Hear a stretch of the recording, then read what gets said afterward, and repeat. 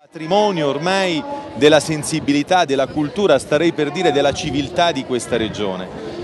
Il perdono è esattamente il contrario del conflitto e noi abbiamo bisogno per ragioni territoriali, nazionali ed internazionali di andare oltre la logica dello scontro, del conflitto, dell'atteggiamento che non riconoscere la ragione e i diritti degli altri.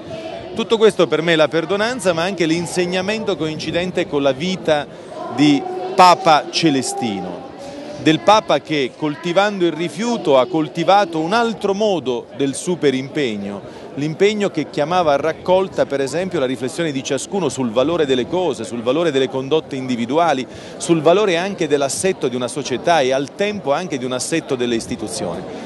Io per questo sono qui, naturalmente mi sento molto onorato di rappresentare l'ente Regione Abruzzo e attraverso l'ente Regione Abruzzo l'intera comunità regionale voglio stringere la mano a tutti gli organizzatori.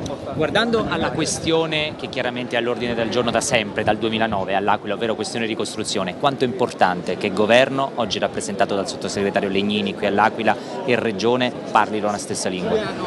È molto importante poiché si evita la lentezza, l'incertezza, l'incomprensione e si assume in maniera definitiva la categoria della priorità. Questa città è in cammino per la ricostruzione delle mura, adesso c'è bisogno di ricostruire anche l'economia, la società, la dimensione, starei per dire, della civicità della città. Dietro di lei c'è Giovanni Lolli che ai nostri microfoni come mai lo abbiamo sentito particolarmente carico e convinto per il futuro di questa città? Ma Lolli è eh, una grande pagina di esperienza a favore di questa città, ci mette entusiasmo, è una persona conosciuta e riconosciuta, di sicuro non è stato mai un casuale, io sono contento di averlo come vicepresidente, lui mi facilita il grande lavoro nel cantiere della complessità dei problemi dell'Aquila. Fermati alla porta del Tempio del Signore.